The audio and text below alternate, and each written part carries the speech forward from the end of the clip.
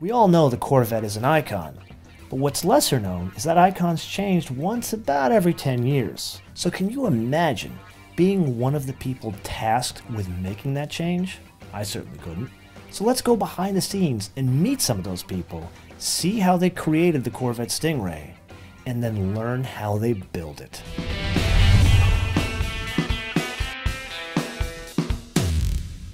We're standing in front of a very unusual piece of hardware. This is actually the subassembly that's built offline that contains the engine, the transmission, the differential, most of the suspension pieces, as well as the brakes and a lot of other hardware including electrical and there's a big connection. There's one big piece that ties it all together.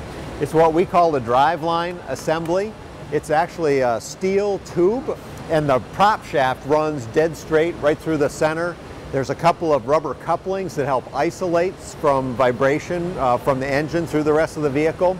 And for the C7, we actually had to triple, that means 300% of the stiffness of the previous generation car. So we actually went from aluminum to steel.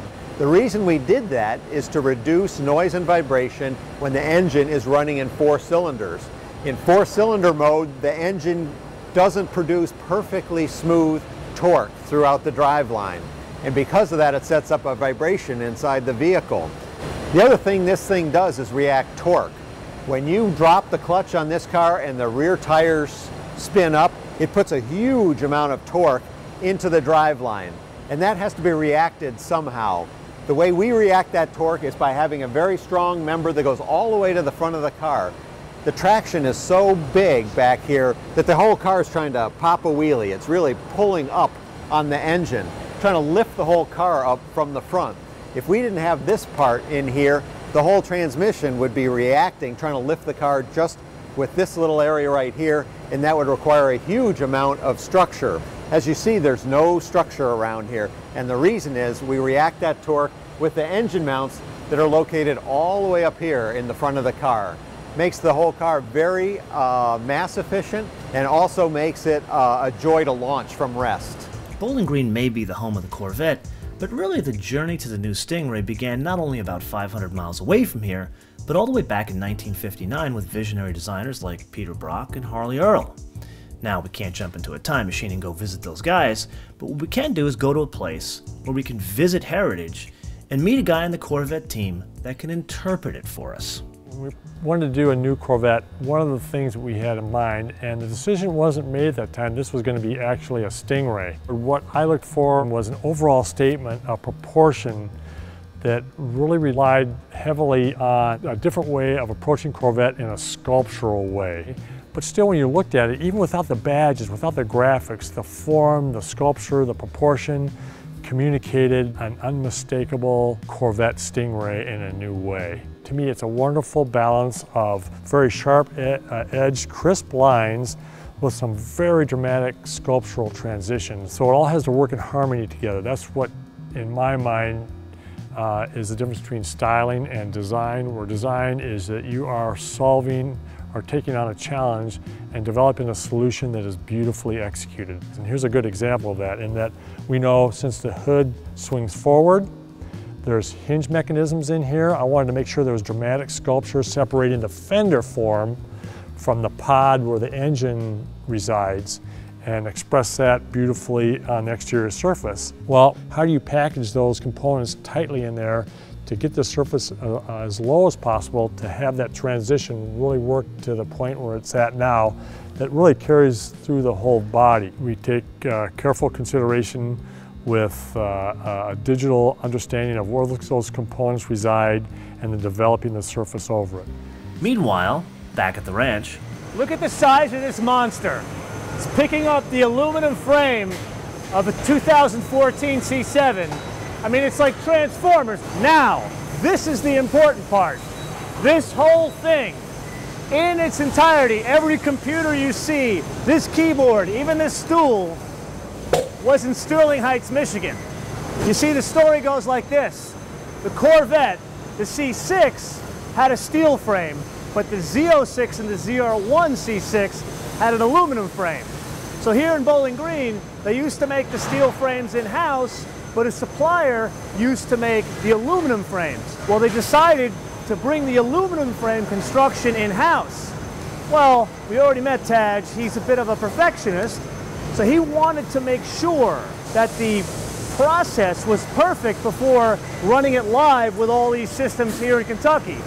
So they went and found a warehouse in Sterling Heights, Michigan, built this entire frame assembly body shop, and then ran pilot frames and ultimately turned into the pre-production cars in Sterling Heights, Michigan. Then once they got it to the point where everything worked, even these computers down here, once it all worked and it was perfect, they boxed it all up, kind of like an erector set, put it in a truck, and shipped it down here to Kentucky. Wait a minute. Why am I the one telling you guys about the intricacies of the frame of the Corvette Stingray when in the building we have the chief engineer of the Corvette Stingray? So let's let him demonstrate some of the frame's, shall we say, finer details? 25 millimeters thick, so an inch thick in certain locations where the suspension attaches to the body. You want that to be like a bank vault. It wants to be just dead solid. And the previous car didn't have that at all. Not nearly as much. We use these hollow castings that uh, you can put internal ribs, so it's a shell of aluminum, and you can put internal ribs. That technology didn't exist. People didn't know how to cast aluminum.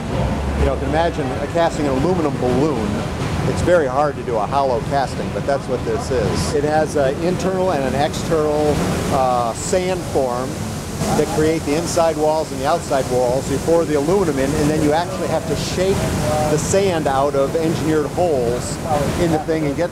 Well, there's certainly more than meets the fiberglass here, but who are the people actually building it? This is a, uh, an incredible place uh, to be a part of. Uh, I've worked for General Motors for 33 years. I've been in 13 different GM locations in three countries on two continents. My whole life prior to coming to Bowling Green Assembly was building engines and transmissions. Unlike the other places I've been, no one ever came to see me in San Jose dos Campos, Brazil to watch me build engines down there or to, they never lined up outside the door when I was building transmission components in St. Catharines, Ontario. But they do here in Bowling Green.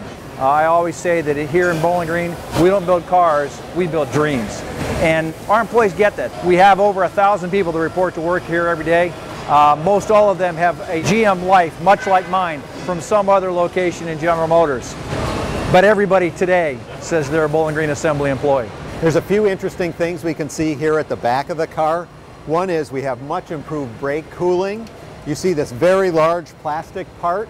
This takes air and routes it outboard right around the caliper and to the rotor behind it, as well as to the brake lines where the fluid comes into the caliper. This is really only part of the system. There's another part of the system you don't see. It doesn't even get installed till the car's at the dealer.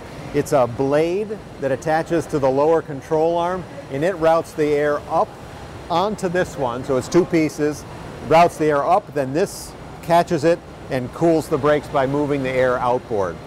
You can't put that part on because it hangs so low to the ground you can't put the car on a car carrier with it on. So we actually put it in the trunk and the dealer installs it when it gets to the dealer.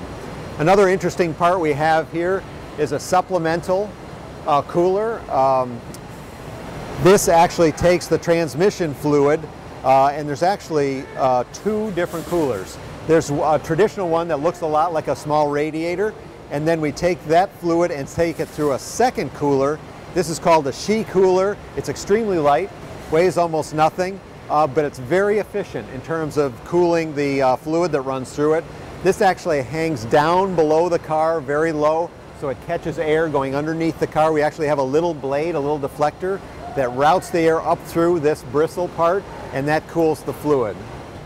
Next week on MotoMan, part two of our behind the scenes journey into the 2014 Corvette Stingray, where we learn how racing influenced this production car, we take a look at build quality, and Tom he tells us how those taillights came to pass.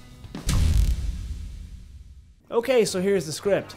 For a new MotoMan film every week, click subscribe. And to get a sneak peek of what's coming up on the show, follow us on Facebook, Twitter, or Instagram, MotoManTV, all one word.